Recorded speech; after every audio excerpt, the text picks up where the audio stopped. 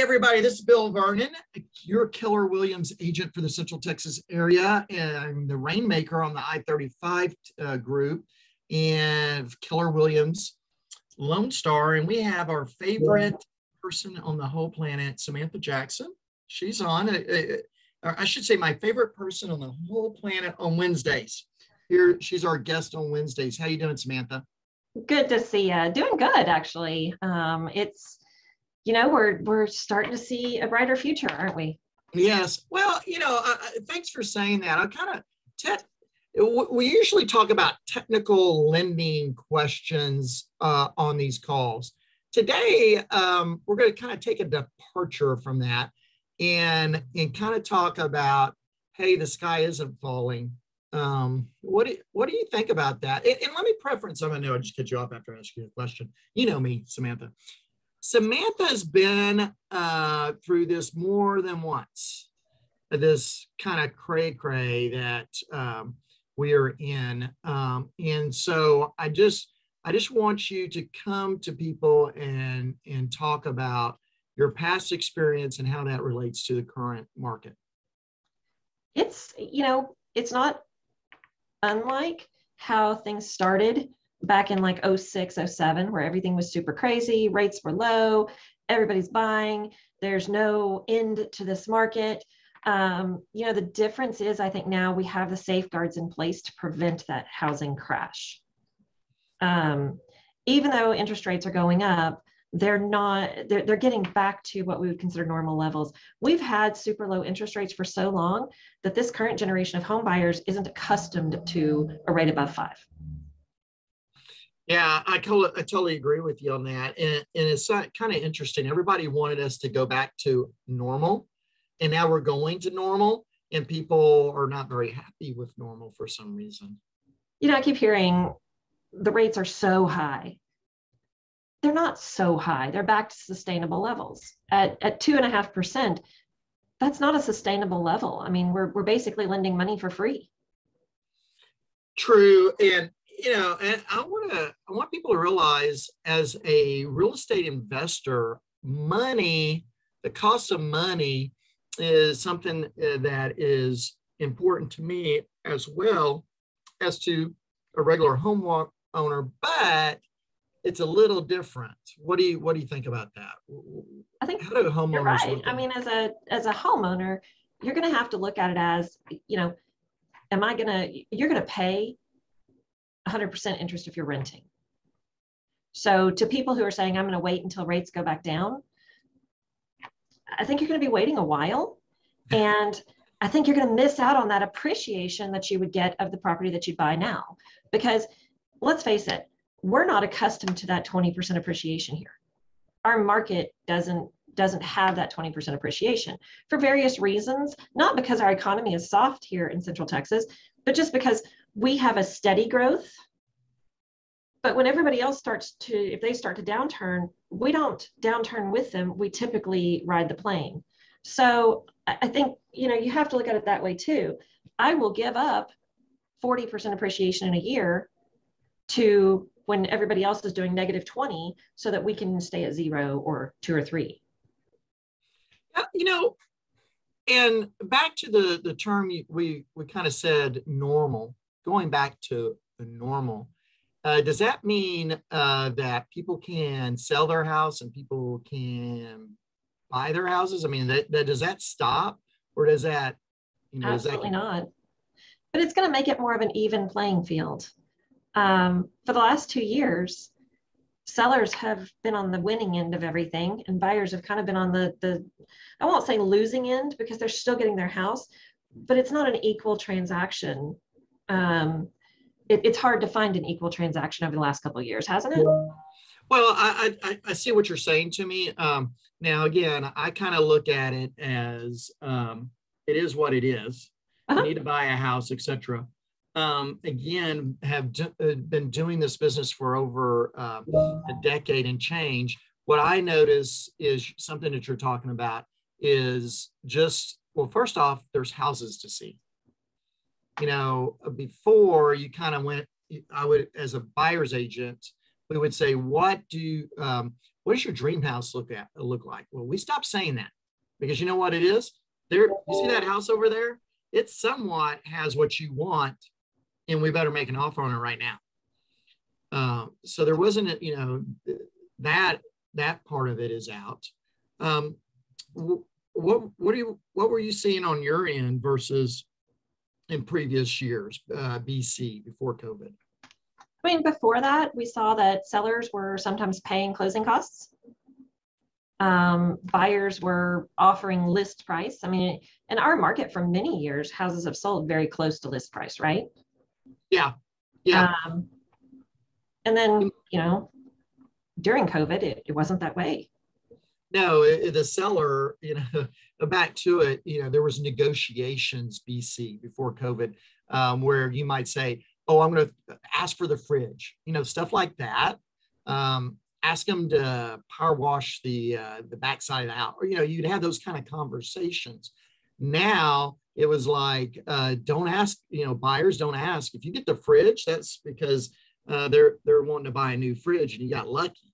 Um, and, and so you know that that portion uh, has disappeared and potentially is coming back. Um, again, um, we uh, were I was at a meeting this week and it was interesting talking to in the, the, these were Austin agents.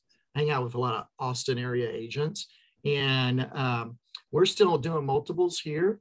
There, they got houses sitting on the market now.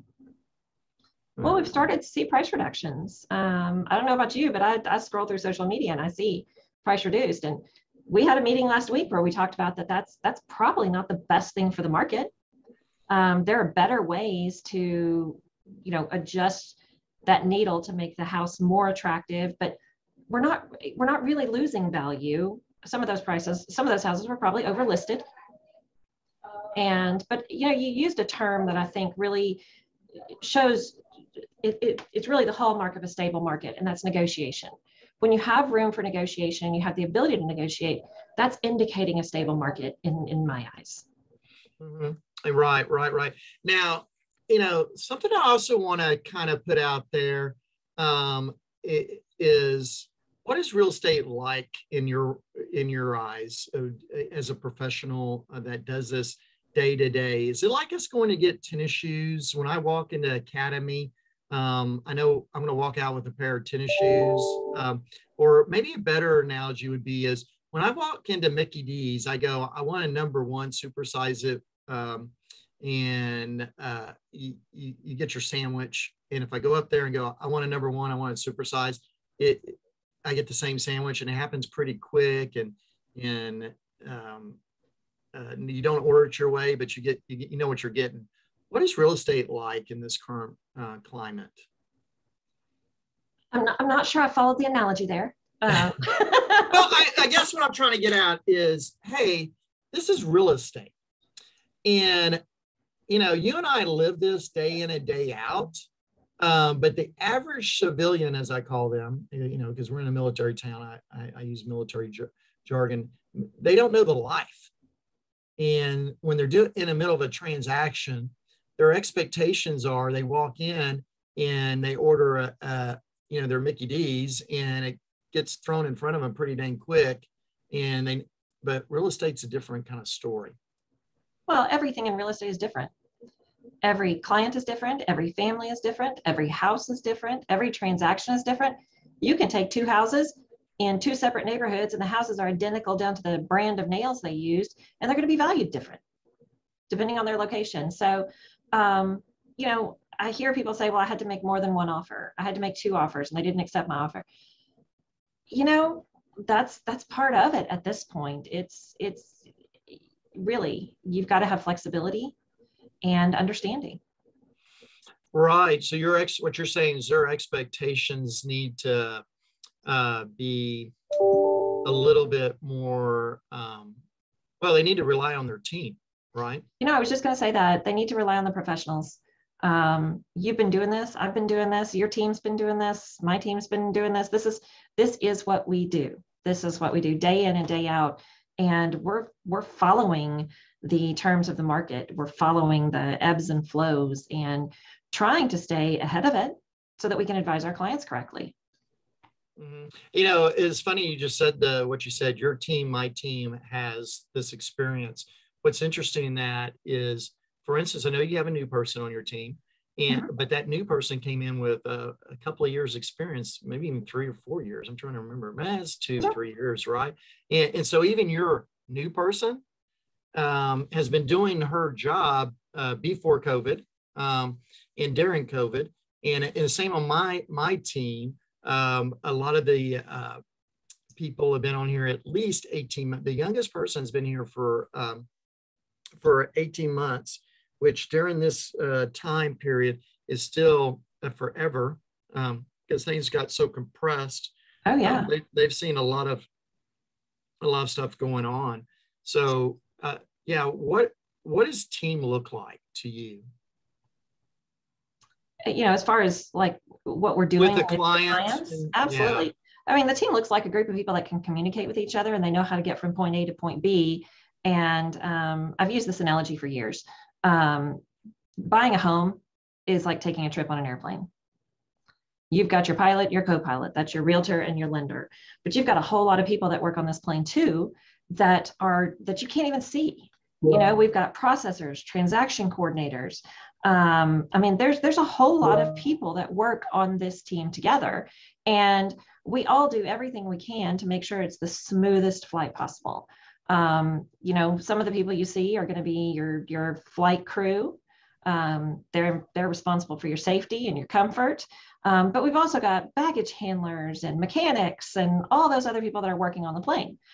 Our goal is to have a smooth takeoff and a smooth landing with as little turbulence in between that is what a team looks like to me. Right. Um, I, I was getting a couple of Dave Ramsey books for somebody. And there was a quote in there. It's really cool. Business is fun until you add the people.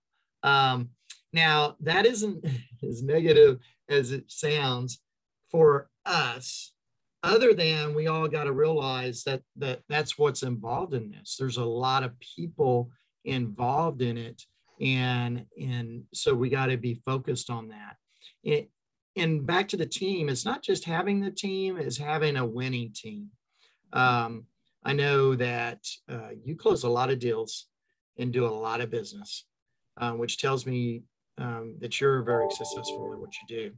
Um, you want to sp- speak on that a little about about your experiences and stuff your your success. And, and I know that's kind of hard for you, but can you can you kind of do that? I see the like deer in the headlights look. I I don't I don't like to do that. Yeah, you're um, a you're a humble person, which is another reason why you're kind of on my team. Is I don't want egos.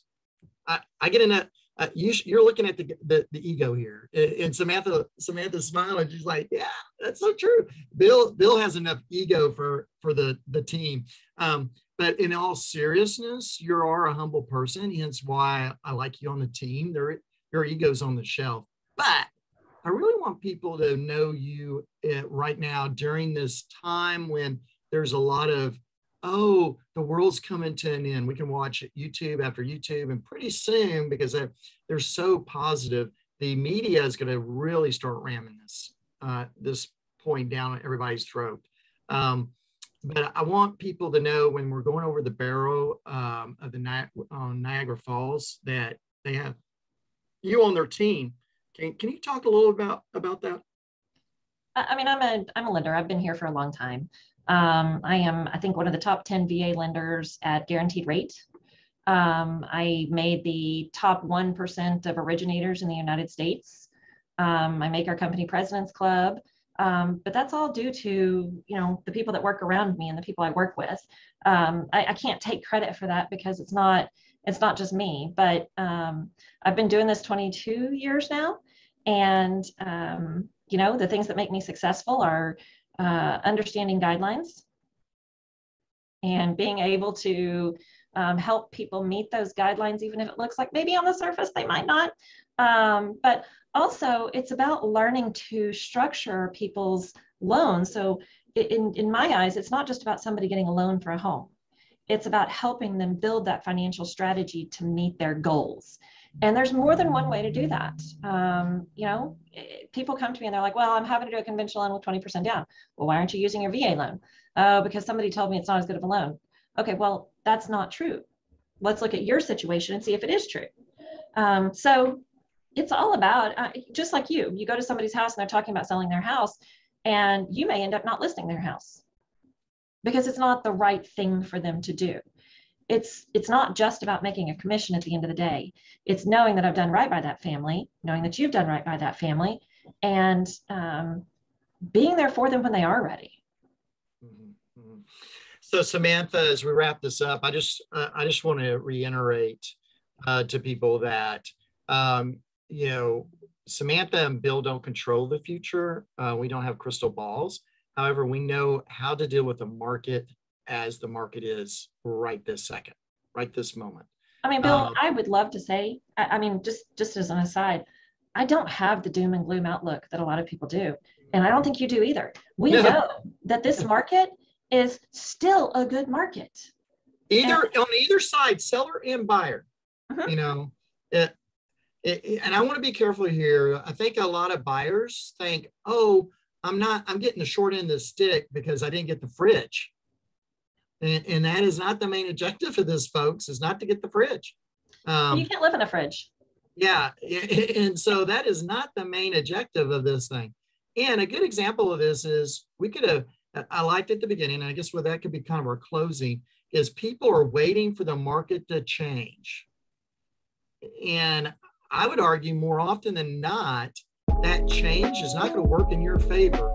In fact, it's to work. If you bought a house before COVID, what is that house worth now? A hundred grand more on average than it was you know, in 2019. Okay. Um, so what? Um, maybe you've had a two or three percent um, decline from last month. You're still pocketing how much tax-free income as a seller, and as a buyer, you pointed it out. Um, you're if you're renting right now, you're living somewhere if you're renting right now, that doesn't look good. No, no. And, uh, you know, talking to people last year who said the market's too crazy, I'm going to wait for prices to come down. We're sitting here a year later and prices have not come down.